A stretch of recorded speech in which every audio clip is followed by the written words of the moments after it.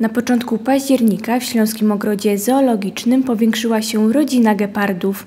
Ignis i Mambo zostali rodzicami. Urodziły się dwa gepardy, y, to są dwie dziewczyny, y, 3 października. Cała odpowiedzialność spoczywa na matce.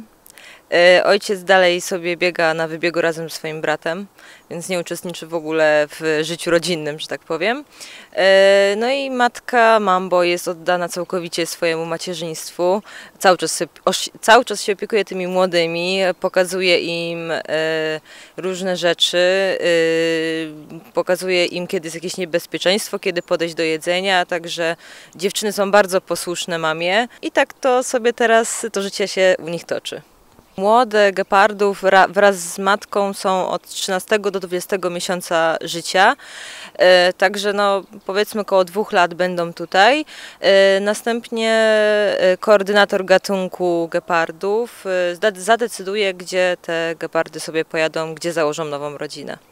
Powiedzmy, że mamy jakieś doświadczenie y, w rozmnażaniu gepardów. Y, Co prawda Mambo to jest jej pierwsze, y, pierwsza ciąża tutaj w, w tym ogrodzie, ale mieliśmy w 2011 roku bodajże młode gepardy.